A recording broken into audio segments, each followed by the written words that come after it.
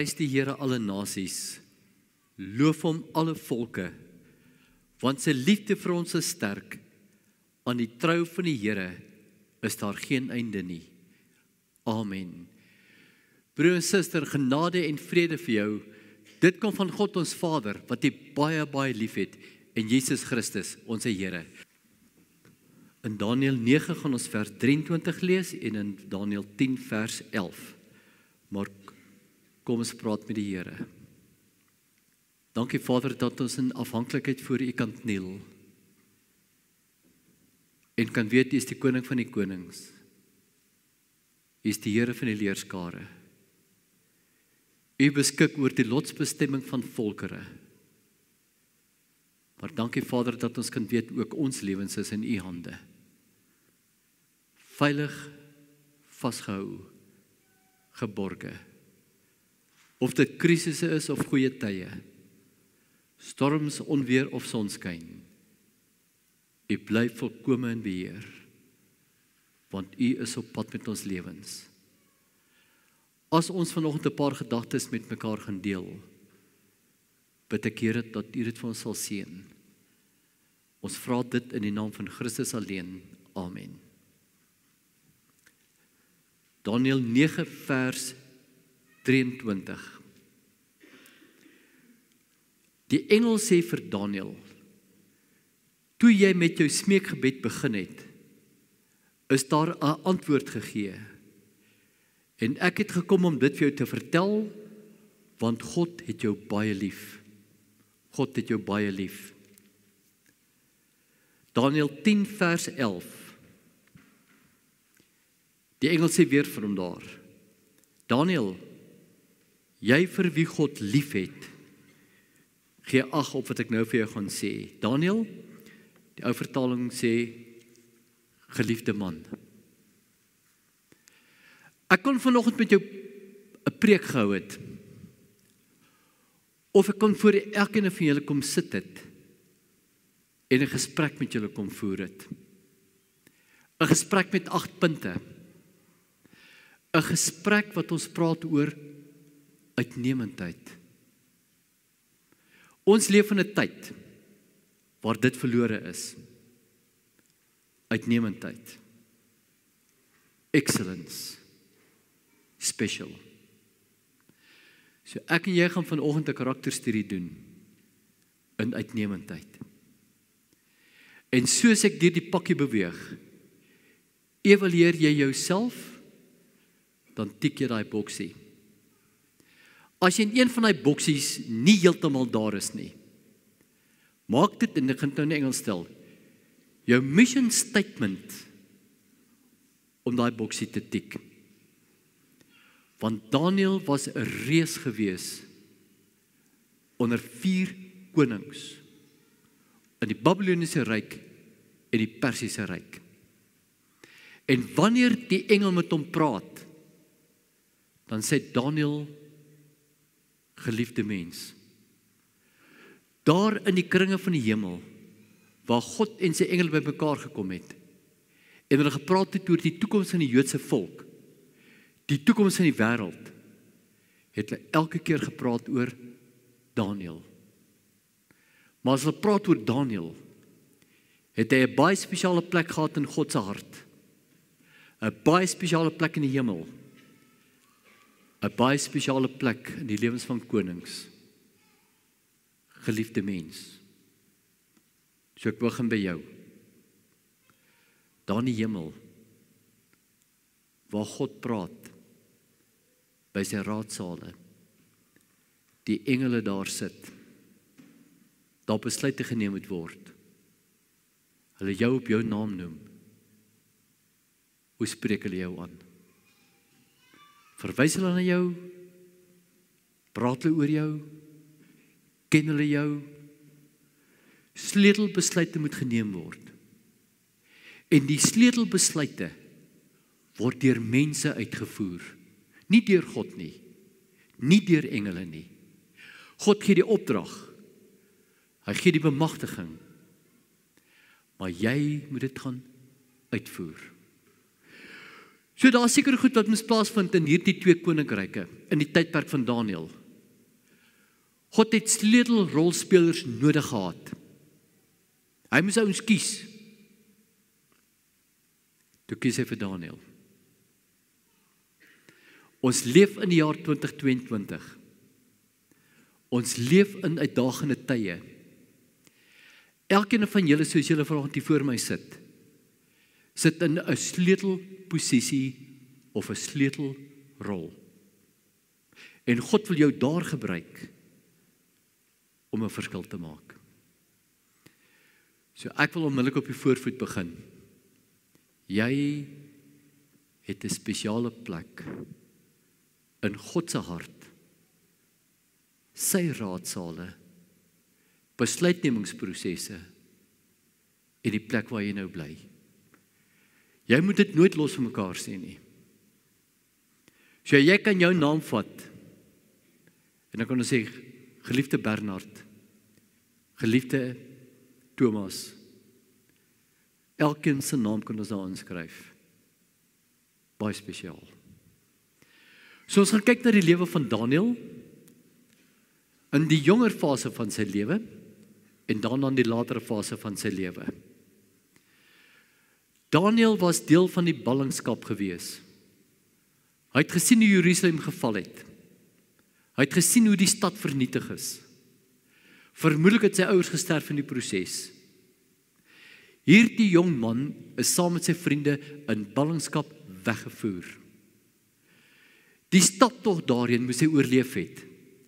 Want hulle sou onder andere deur die woestyn gestap het waar daar nie kos was nie, ook nie water nie baie kilometers ver. Toe hulle in Babylon aankom, is groepe uitmekaar uitgehaal en toe weet lees ons 'n baie interessante ding oor Daniël. Dat Daniël kom uit 'n koninklike geslag of een van die vernaames in Jerusalem. Daniël was vermoedelik 'n jong prins. Die seun van een van die konings in Israel. So kom die koning en hy gee opdrag.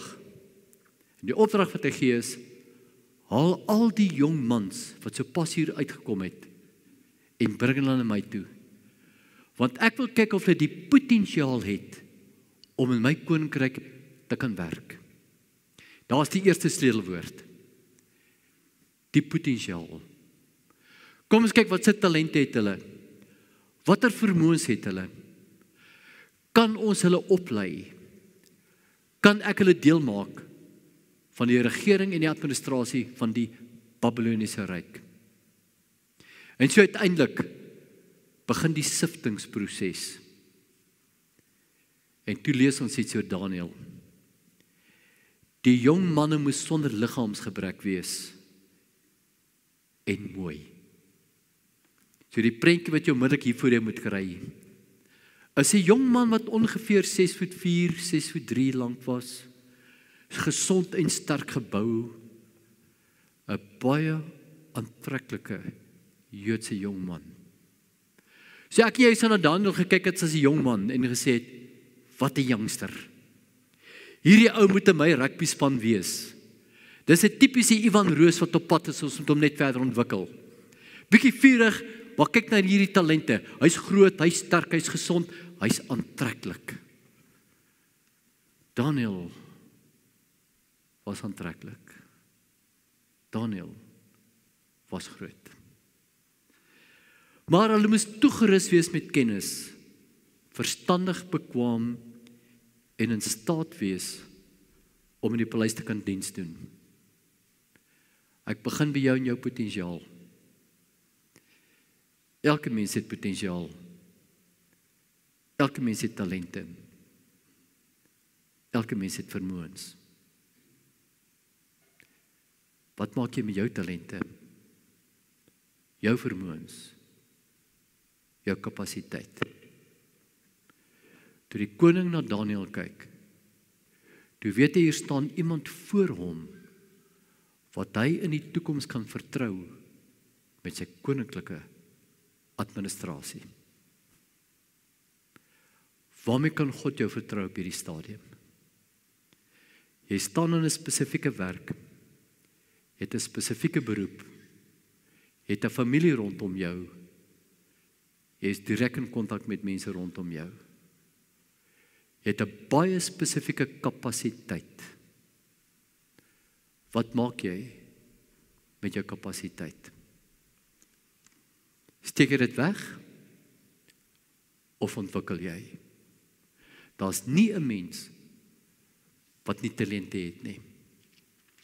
So as 'n jong man het hy baie potensiaal gehad. Maar daarna begin 'n interessante proses in Daniël se lewe as jong man. Onmiddellik word hierdie groep weggevat. En hulle moes vir 10 dae 'n spesifieke dieet vorm, 'n dieet loop. Hulle moes van die koning se kos en van sy wyn drink. En toe Daniël en sy vriende kinders uit ballingskap uit Jode na die hoofamptenaar toe gegaan en vir die hoofamptenaar 'n vraag gevra. Ons wil nie regtig hierdie kos eet nie. Maar ons is bereid om Joodse kos te eet. Hier is die volgende sleutel. Hy's in die buiteland. Sy pa en sy ma is nie meer daar nie. Daar's niemand om na hom te kyk nie. Daar's niemand om hom op te pas nie. Daar's niemand om hom voor te sê nie. Hy staan op sy eie twee bene. En in ballingskap het iets deurgekom. Is iets op die proef gestel. Is iets getoets. Weet jy wat is dit? Sy ouer opvoeding. Vir 16 jaar is hy geskool in die Joodse wette. Hy het presies geweet wat die Joodse wette inhou. Deel van die proses was die bar mitzwa wat afgelê is. Dis gelyk aan die geloofsbelijdenis. So toe in ballingskap kom, toe word hy getoets. En omdat hy getoets word, gaan vra 'n vraag aan die hoofamptenaar. Maar hoor wat gebeur. God het gemaak dat die hoofamptenaar gunstig teenoor hom gestaan het. Hier loop die lyn. As God oor Daniël gepraat het, het hy gesê geliefde mens. As die engel met hom praat, dan sê hy geliefde mens. As die hoofamptenaar na hom kyk, dan oorweeg hy sy versoek gunstig. Die hoofamptenaar het onmiddellik gehou van Daniël.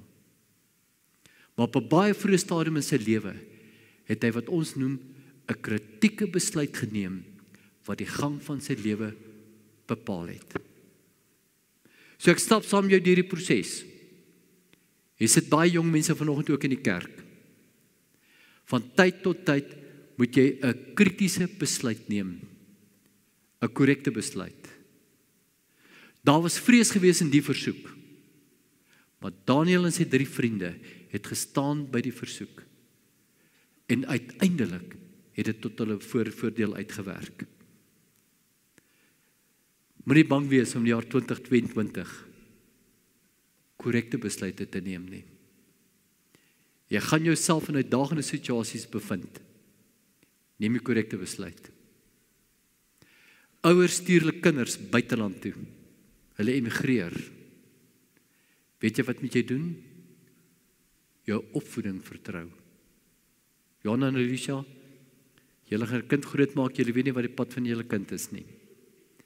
Die pad van julle kind kan dalk buiteland toe wees. Dalk gaan hulle eendag emigreer. Dalk gaan hulle ergens waar op ander plekke werk ry. Weet jy wat?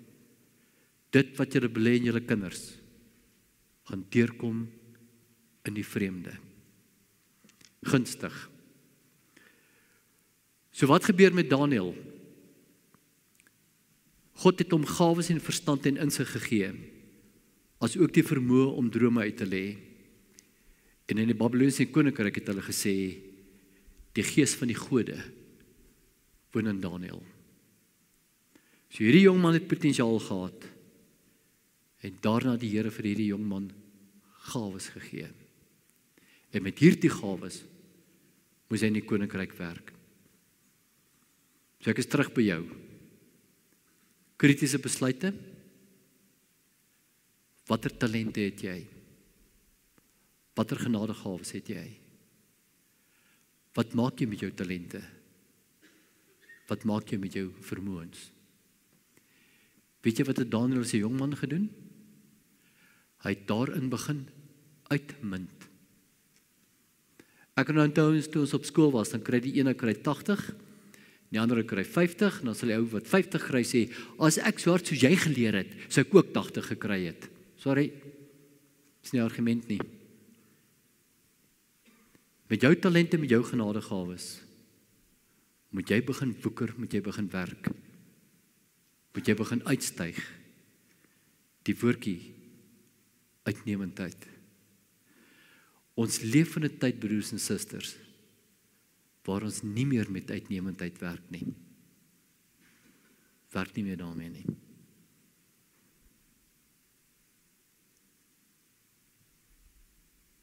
My voertuig is gesteel. Hy was die 9de Mei ingeboek gewees by 'n spesifieke plek, garage.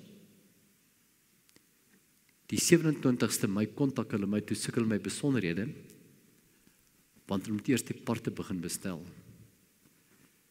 Toe klim ek in my kar, toe gaan praat ek met die persoon wat daarvoor verantwoordelik is. Toe sê sy meneer, ek het vergeet, ek vra om verskoning. Ek was baie besig met ander goed. Daai parte kon binne die eerste 2 3 dae bestel gewees het. Ek het daar gesit. Ek wou sê vir hom net twee dinge mooi weet. Een ek is baie vies vir jou. Want ons wag nou lank vir die voertuig. Maar dit is oukei. Okay. Moenie te sleg voel nie. But please please moenie dit met ander kliënte in die toekoms doen nie. Uitnemendheid. Ek gooi nie 'n klip nie, ek verwyd nie. Verstaan mooi. Ons leef net in 'n stelsel op die oomblik waar ons nie meer met uitnemendheid te doen het nie en jy het die vermoë tot uitnemendheid. As jy jou talente en jou gawes wat die Here vir jou gegee het gebruik. Kyk na daai boksie. Daarna word dit word hulle geloof getoets. So Daniël se drie vriende word in die vuuroond gegooi. Dit bly vir my 'n oop vraag hoekom Daniël nie daar was nie want al vier van hulle het saam dieselfde besluit te geneem en dis om nie voor die beeld van die keiser te eh, van die koning te aanbid nie. So drie van sy vriende is in die vuur oond gegooi. Maar hoor mooi wat antwoord Daniël se vriende. U hoef ons nie hierop te antwoord nie. Ons het God vir wie ons dien. Hy het die mag om ons te red uit die brandende oond. En hy sal ons ook red. Selfs as hy dit nie doen nie, moet u weet dat ons God, dat ons u God nie sal aan uh, dien nie. Die goue beeld wat jy laat oprig het, nie sal aanbid. As ek kan jou nie aanbid nie. Want ek weet dat God die mag het om ons te red uit die brandende oond. Maar hier kom 'n sinnetjie by. Selfs as hy dit nie doen nie, sal ek nog steeds nie u God aanbid nie. So Daniel se drie vriende werk met twee moontlikhede. Die eerste moontlikheid is dat God die mag het om hulle te red uit die vuuroond. Die tweede moontlikheid miskien gaan hy dit nie doen nie. Dit was die vuuroond ervaring van Daniel se drie vriende. Nou vra ek vir jou, jou vuuroond ervaring. Die afgelope 3, 4 jaar wat verby is. Baie van julle was siek. Baie van julle se finansies het skibreek gelei. Baie van julle het julle werk verloor.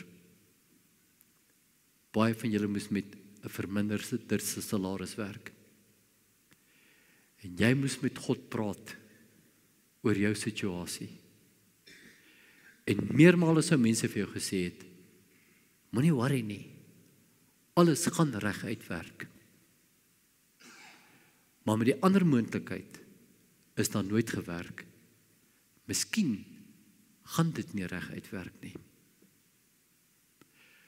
Sou jy in daardie geval jou geloof in God steeds bly behou het? Want dis wat Daniël se drie vriende sê. Ons weet God kan ons red uit die oond. Maar al red hy ons nie uit die oond uit nie, sal ons nog steeds nie u God aanbid. Drie kort opmerkings. Dit gaan oor die woordjie vertroue. Die eerste persoon wat jy moet vertrou is jouself. So ek vra jou, vertrou jy jouself op hierdie stadium? Vertrou jy dat as jy 'n eier gaan bak, dat daai eier gaan reguit werk?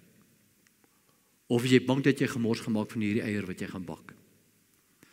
Ek gaan oor na koek maak. Jy's nou nie die beste bakster nie.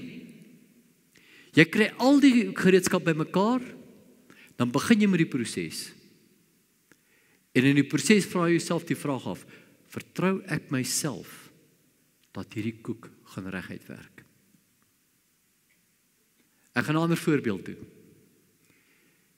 Jy kry 'n werkstuk. Jy begin met hierdie werkstuk.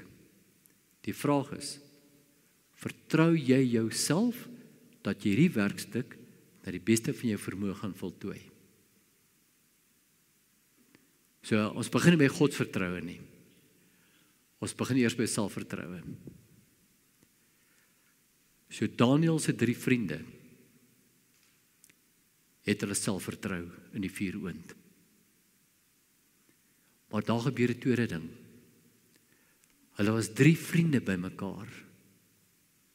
So die selfvertroue was ook vriende vertroue.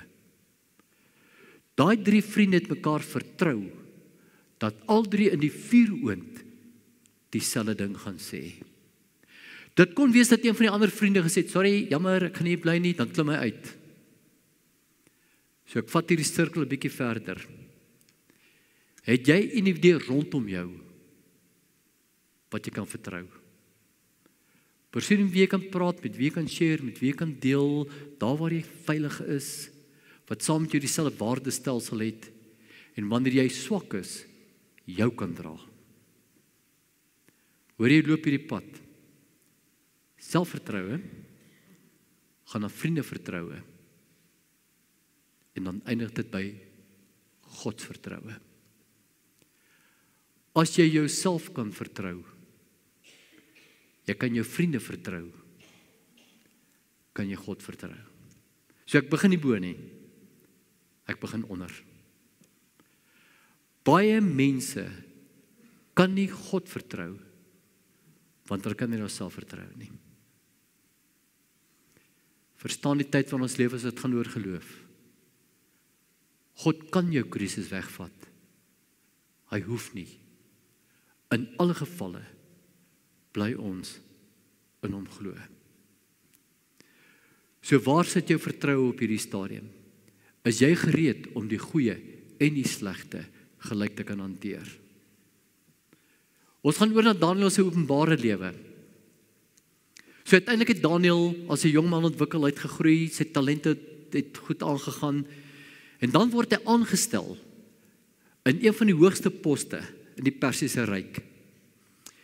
Hierdie Daniël het deur sy buitengewone bekwaamheid so uitgeblink bo die ander ministers en goewerneur-generaals dat die koning van plan was om hom oor die hele koninkryk aan te stel. Buitengewone bekwaamheid uitgeblink. Ek is op my knieë voor jou. Jy het buitengewone gewone bekwaamheid. Blink jy uit daarmee? The devil lies in the detail. Die ministers en die goewerneur-generaals het toe iets teen Daniël probeer kry oor die manier waarop hy sy administrasie behartig het, maar hulle kon niks kry nie. Hulle kon geen onreëlmatigheid vind want Daniël was betroubaar en was aan geen nalatigheid of onreëlmatigheid skuldig. geen nalatigheid of onreëlmatigheid. Die wêreld hou jou dop. Die wêreld jou uithaal. Die wêreld hou nie van die pos waarin jy sit nie. Hulle gaan jou probeer uithaal. Maar as jy deur jou buitengewone bekwaamheid uitmunt en jy maak jouself aan geen nalatigheid of onreëlmatigheid skuldig, kan niemand niks teen jou doen. So gaan gou terug na jou werksituasie toe. Tik vir my raai boksie. Nou is besig met 'n studie en uitnemendheid. Is jy die beste in jou job? Mint jy uit? Jy's 'n vreemdeling soos Daniel in 'n interessante stelsel. Daniel was 'n vreemdeling. Jy's 'n vreemdeling. As ek as enigste blanke by binnelandse sake instap om huwelike te gaan registreer, kan ek nou vir jou sê hulle vat elke dokument wat ek met inhandig. Hulle kyk na die fynste detail van daai dokument. Te. As daar een fout is, dan word al die papiere weggegooi, dan moet ek teruggaan en van voor af met die proses begin om 'n huwelik geregistreer te kry. So wanneer die paartjies daar by my opdaag, maak ek seker dat ons aan die fynste detail boksies tik om dokumente te kan aanhandig. Ek en jy leef ongelukkig op 'n oomblik in 'n samelewing en 'n stelsel waar ons nie meer aandag gee aan detail nie. The devil lies in the detail. Gaan vra dit vir 4 miljoen dollar wat net weggeraak het. Nalatigheid. Onreëlmatigheid. So jy gaan uitmunt. Tik maar net vir hierdie boksie. As jy hierdie boksie tik, gaan jy soos Daniel uitstyg in jou werksomstandighede. Die plek waar jy is. Daniel se geestelike lewe en daarmee is ek amper klaar. Daniel was inderdaad 'n student van die woord. En Daniel het gebid. In die eerste regeringsjaar het ek Daniel uit die skrifte vasgestel dat volgens die woord van die Here, so hy's besig gewees om uit die boek van Jeremia te lees. En daarna het hy gebid. So ek vra jou baie mooi. Ons weet uit Daniel uit dat hy 'n program gehad het. En in die vroeë oggendure het Daniel doodgewoon sy Bybel gelees en het sy gebede gedoen. So sit vir jou 20 minute of halfuur op sy wat jy net rustig jou Bybel lees. Maar langs jou Bybel moet daar 'n boek wees. Jou gebedeboek. En in daai gebedeboek skryf jy name neer, geleenthede, spesifieke situasies. En elke oggend gedissiplineerd bid jy net jou kort lysie deur. En dis wat Daniel gedoen het. Hy het sy Bybel gelees en inderdaad het hy ook sy gebede gedoen. Hierdie dissipline is nie so moeilik nie. Dis soos ontbyt eet, middagete, aandete eet. Hierdie dieet is net jou geestelike dieet. Moenie jou geestelike dieet afskeep nie. Wanneer tye in jou lewe nie so goed gaan nie, vat daai 20 minute af. Dit hoef nie meer as dit te wees nie. Lees jou Bybelstukkie, is jou Bybelstukkie, maar kry jou boek, jou gebedeboek wat jy neerskryf. Ouers, bid asseblief vir jou kinders elke dag. Oupas en oumas, bid asseblief vir julle familie elke dag. Jy het 'n werksituasie is. Bid elke dag oor jou werksituasie. Hierdie lys is nie so moeilik nie. 'n Maklike lys. Maar dis 'n dissipline. Dis die dissipline wat Daniel gehad het. Wat was die sleutel in sy lewe? Ons kry dit in Daniël 10 vers 12. Toe sê die engel vir hom: Moenie bang wees nie. Want van die eerste oomblik af dat jy ingespan het om insig te verkry en jy voor God toe het vermoedig, is jou gebede verhoor van die eerste oomblik af. Daar was 'n moment in Daniël se lewe gewees wat hy keuse gemaak het. En die oomblik toe hy keuse gemaak het, het sy lewe 'n ander koers begin inneem. Hy het gekies om insig te, te verkry en om hom voor God te verootmoedig. Daniel was 'n geliefde man by God. Daniel was 'n geliefde man onder die engele. Daniel was 'n geliefde man tussen sy vriende. Daniel was 'n geliefde man in die koninkryk. Want toe koning Darius hom in die leeukuil ingooi. Toe kom hy die volgende oggend daar aangehardloop toe sê Daniel geliefde man, het God jou beskerm. Darius se hart het gebreek. Toe hom in die leeukuil moes gooi. Sy gewilde geliefde man wat uitgestyg het deur sy uitnemendheid. Ek en jy leef in ballingskap, 'n ander tipe ballingskap. Vat hierdie 8 punte. Dan vat jy jou tyd. Dan werk jy deur al hierdie 8 punte. Dan sit jy jouself in jou werksituasie neer daar waar jy nou is. Dan kies jy om uit te styg met uitnemendheid. Ek sluit af met Daniël 12 vers 3. Die verstandige leiers sal skitter met die glans van die hemel self.